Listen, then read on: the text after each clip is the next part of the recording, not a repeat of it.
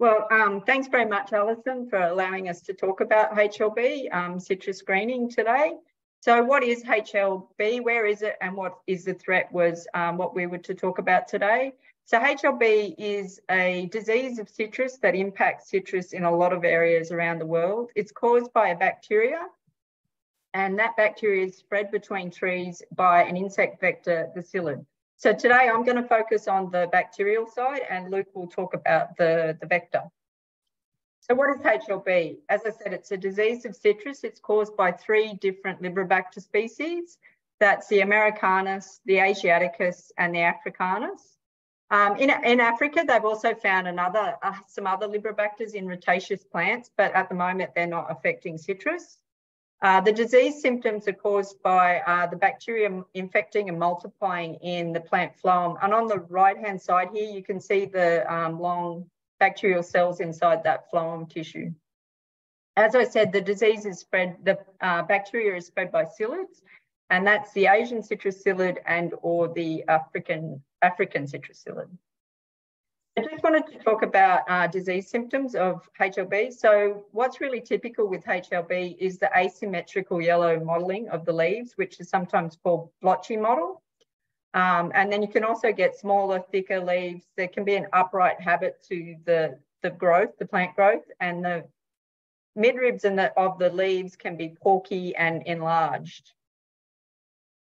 Um, as the, the disease progresses on the tree, you'll get one or more yellow shoots forming, and then eventually you'll get larger sections of the tree becoming yellow, and then eventually the whole tree can um, be affected.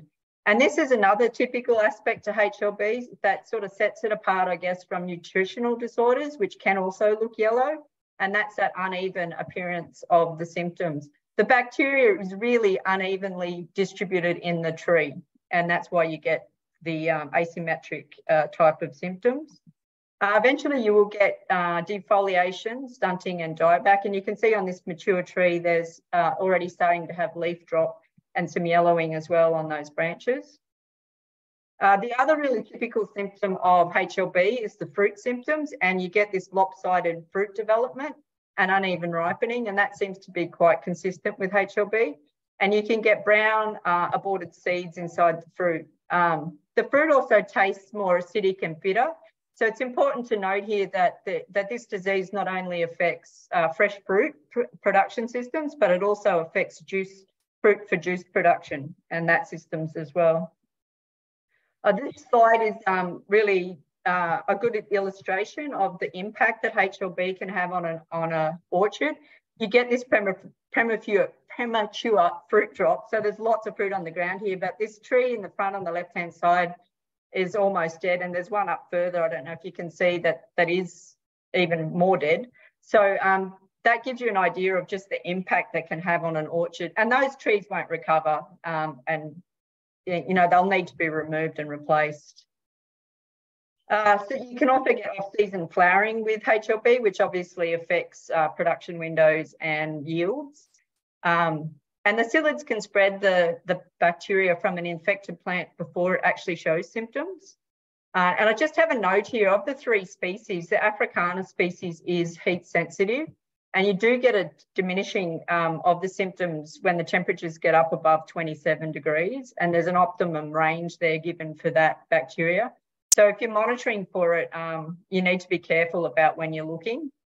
And it also means that the Africanus, as you'll see later, the Africanus um, species is differently distributed geographically because of that temperature sensitivity. Um, I just take an opportunity here to say um, the photos that I've been, the photos I've used for the symptoms have come from this uh, really good review paper and also from the EPPO uh, global database website. That database is really, really good. There's lots of really useful information on that. Um, and I'd also say Alison will distribute our presentations. And at the end of the presentation, there's a whole list of references for where we got the information for today's talk. So where is HLB? So it depends on the species of the Liberibacter that you're talking about. And this is from EPPO database. And as you can see, for the Asiaticus species, it's globally distributed. It's in lots and lot, lots of major citrus growing areas. And the date in the brackets is the date that that map was last updated. So that's a really recent update. Um, the Americanus is basically still, as of last year, is still um, restricted to Brazil. And the Africanus one is pretty much Africa. So there's a big difference in geographical spread of the three species.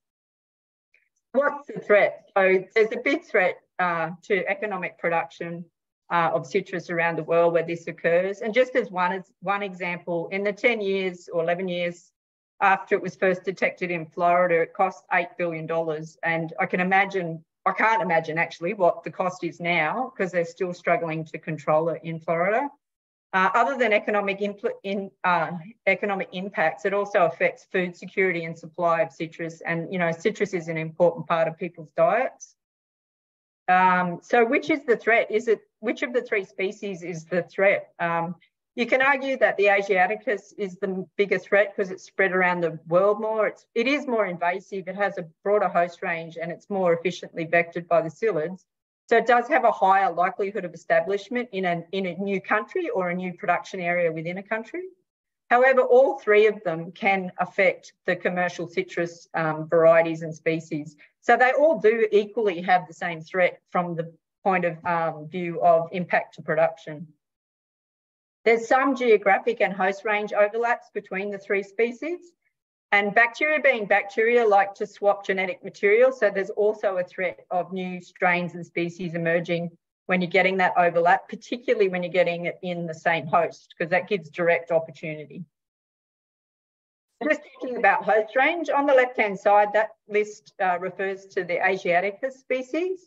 Uh, what I want you to note about this slide is the ones in green are the species, are major hosts for the whole three of the Liberibacter species and they represent um, all of the commercial uh, species and varieties of citrus that are grown. So you can see it'll have a massive impact uh, where you grow citrus. Uh, the, the species highlighted in pink are hosts that are shared between the Asiaticus species and the Africana species. And Murraya paniculata down the bottom here is a species that's shared between the Americanus liberibacter and the Asiaticus liberibacter. The other thing to note, uh, the hosts that are highlighted in grey, they're the hosts that aren't in the Rutaceae family. So these Liberibacters that affect citrus are largely confined to the Rutaceae family. Um, it's only these sort of experimental ones and weeds that are that are outside um, Rutaceae.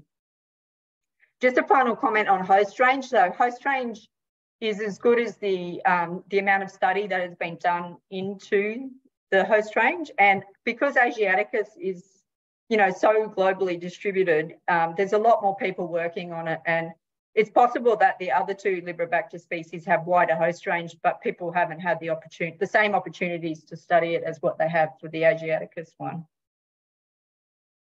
So what is the threat? So as I said, they all can be a threat. So you need to know which one you've got so you can focus your efforts on that. I said before, the Africana species is heat sensitive, so it has a restricted range and it also, um, it, it loses those symptoms when it gets warm. And just as an example, in Brazil, they had both the Asiaticus and the Americanus uh, Liberibacters, but within five years, the Asiaticus um, species displaced the Americanus one. Um, it's more invasive, the vector spreads it more efficiently and, has, and again, it has that wider host range. So it's important to um, know which one you have. And, and as I said before, you can all, there could be new ones coming, which will have different biology again. It is a threat because HLB is extremely difficult to manage um, in, in many areas around the world, particularly in large um, commercial orchards. So before I move on to monitoring and management, I just wanted to quickly go through the disease cycle because from my point of view, the disease cycle really drives how you manage, how you monitor and how you manage. So um, the psyllid feeds on an infected tree for about an hour to um, acquire the bacteria, and then it takes about 17 days for that bacteria to circulate within the insect and get into the salivary glands and then it's available, the psyllid can then transmit it to a healthy tree. And then it, once it's in, deposited in a healthy tree, it takes a few weeks for that tree to, uh, for the bacteria to multiply enough in that tree uh, and spread enough in that tree to be a significant source for further spread. And we call this persistent transmission because once the uh, psyllid has acquired that bacteria and the latencies period's finished, uh, it can transmit that, uh, can spread that uh, bacteria for basically the rest of its life, which is around about 35 days. Uh, once a tree becomes infected, it can take months or years um, until it spreads without over the whole tree, and then the tree eventually defoliates and dies. So it's important to know this so that if you're monitoring and you're managing, you need to know whether you're monitoring, whether you want to monitor the infected trees or the psyllids, and whether you're looking at external or internal sources of the bacteria or the or the psyllid. And it, it lets you find um, opportunities where you can have um, impact on that spread. So to monitor, um, you, you, need to sample trees with suspected inf infections, which are symptomatic, and multiple tissues if you can.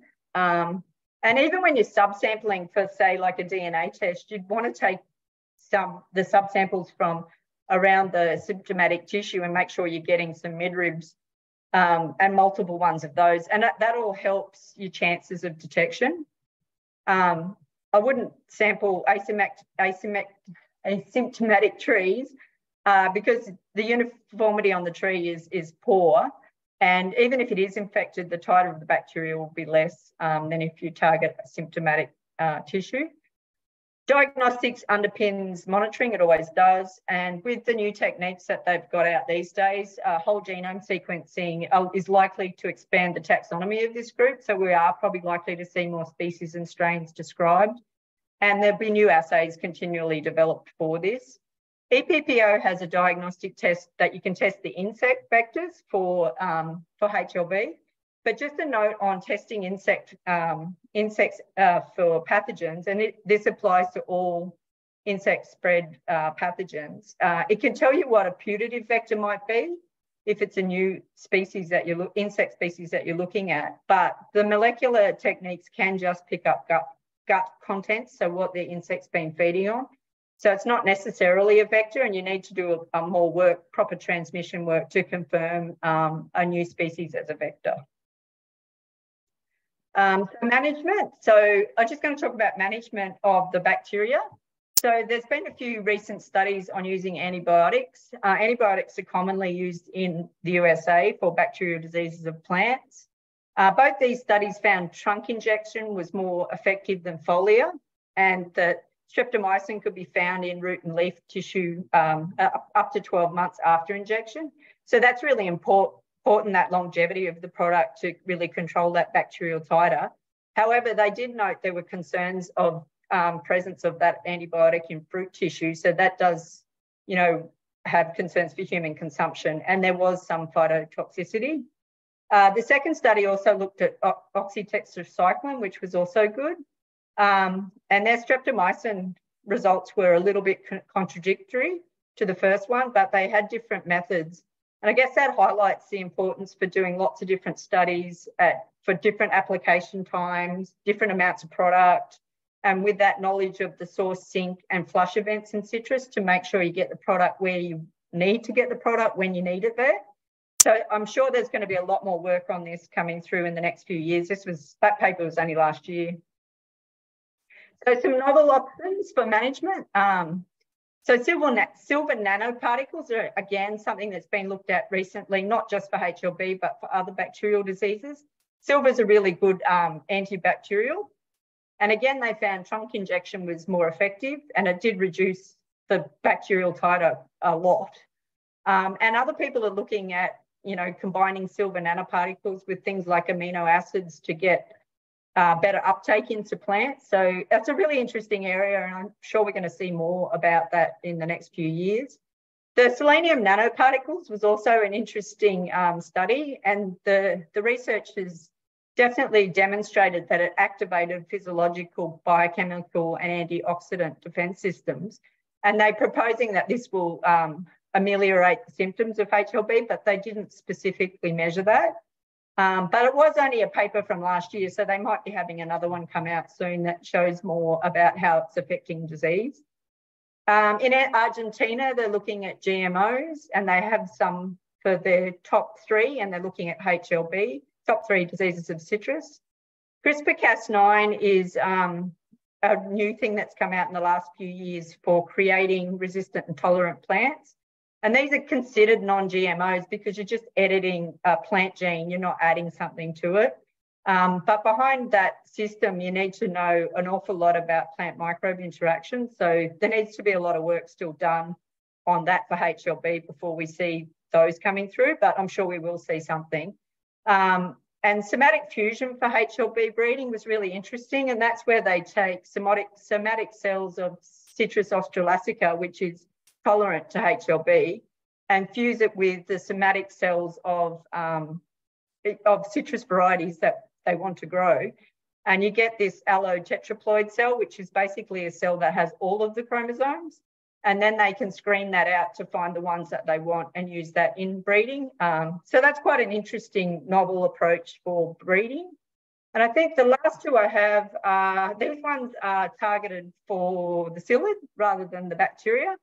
So these OM8 derived, OMP-A derived peptides are outer membrane protein A peptides from the Asiatica species, which aren't present in the, aren't present in the Americana species. And the researchers proposed that might mean that they won't be spread by Asian citrus psyllid because the Americana species isn't spread by Asian citrus um, psyllid. And they did find this PEP6. So um, when they fed that to the psyllids, the psyllids were no longer able to pick up the uh, Liberibacter. And what was really encouraging was that was maintained for three months stably inside the plant. So a lot of these novel molecular products are good, but if they don't survive in the real world and don't survive for long enough in the real world, they um, they're not useful. So three months is pretty good, I would think, for something like that. And the last one is RNAi, so RNA interfering RNAi products which basically silence genes in the psyllid vector. And there's been a lot of work on this, um, not just on psyllids, but a whole range of um, uh, plant pests. And in this particular study, they were able to demonstrate they could alter wing development, increase sensitivity in, to insecticides, and disrupt sucrose metabolism. So again, again, that's a really recent paper. So it's going to be really interesting over the next three to five years to see where all of this new research is going. I'm sure they're going to get some um, some useful uh, products coming out that can be applied. And I think that's me done. Just a summary. Uh, know what you're monitoring and you're managing. There's multiple species. There's lots of new